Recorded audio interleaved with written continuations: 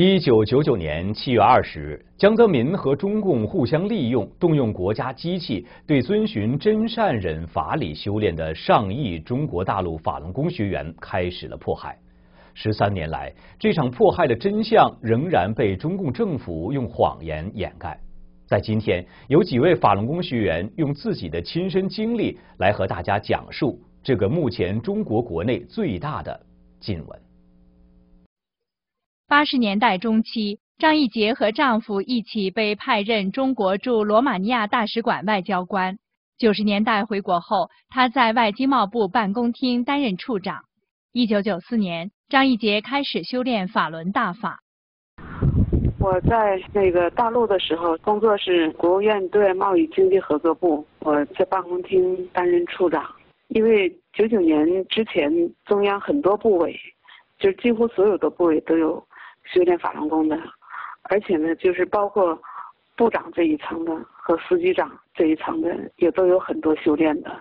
张义杰走入修炼那年，正是法轮大法刚刚传出两年的时候。虽然没有刻意的宣传，但因为法轮大法展现出神奇的健身效果和强大的道德力量，短短几年就在中国吸引了上亿人修炼，学员人数超过了中共党员的人数。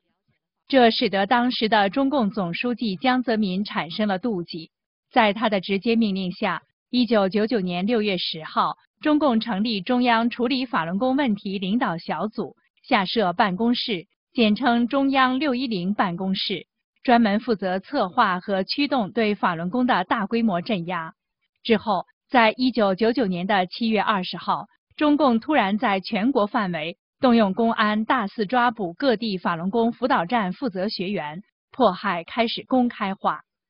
张义杰平静幸福的生活及所奋斗的一切，也被这场迫害彻底打破、失去。经贸部在整整九个月之内，就从九九年七二零之后九个月之内，就是动用了部里部外的各层力量对我全面施压。但是呢，我从头到尾呢，就是说还是。跟他们陈述坚持信仰，绝不放弃法轮功的修炼。那么在九个月的逼逼迫之下，他们相继对我开除党籍、撤销公务员，然后撤销处长职务，一直到最后开除公务员队伍。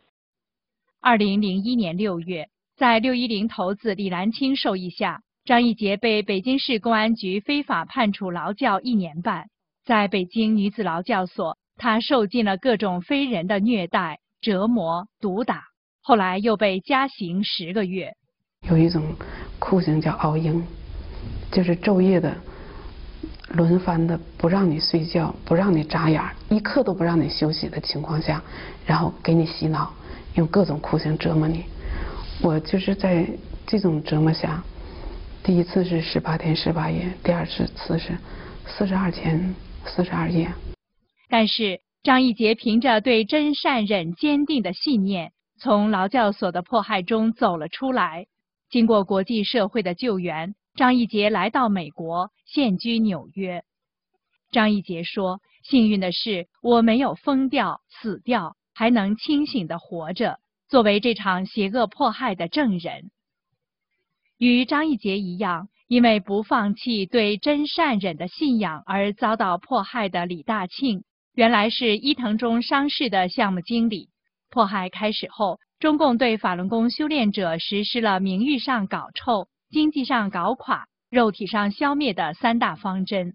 李大庆的公司迫于压力，希望他放弃信仰，最后他被迫离开了公司。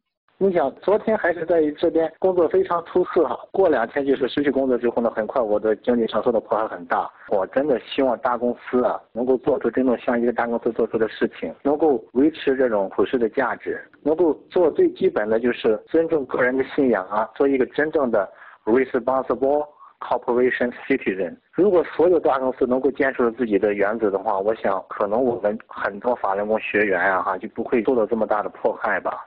除了针对法轮功学员直接进行精神、肉体、经济上的迫害，中共还在国内和海外大肆宣传天安门自焚、一千四百例自杀等之后被证实为嫁祸的新闻，使中国老百姓也深深陷入谎言的漩涡。前清华大学土木工程系副教授徐寅表示，法轮功并不像中共宣传的是迷信，相反，却令很多高级知识分子折服。一九九五年，他在清华大学修炼法轮功，当时包括前副校长在内的许多教师、学生都在练。清华大学至少有四百多人练法轮功。在练法轮功的学员之中，他的年龄层次啊。知识背景啊，他的经历啊，都不一样。其实每个人内心的困惑都不一样，千差万别。可是就在师傅的一次讲课中、一次讲法中，就能够解决。那是什么样的力量？我现在说不清，只能大家去练了以后才能知道。虽然虚银通过修炼追寻的是人生真理，而不是政治目的，但也被判两年劳教。遭受了各种酷刑迫害。两千零八年，虚银被释放后，他辗转来到美国。法轮功本身就是让人向善，让人做一个道道高尚的人。可是就这么一个，在就是符合中国传统文化这么一个有普世价值道的观念的一个功法，却在中国遭到了十三年的迫害。这三名法轮功学员的故事，只是上亿受迫害的法轮功学员中的冰山一角。十三年来，中共政权对法轮功的迫害仍在继续。与此同时，全世界信仰法轮功的学员，为了信守真善忍的价值，也在全球四处奔走，承受无名苦难，呼唤正义良知。这是他们在集会中经常使用的横幅标题。他们呼吁人们用良知直面邪恶，共同制止这场迫害。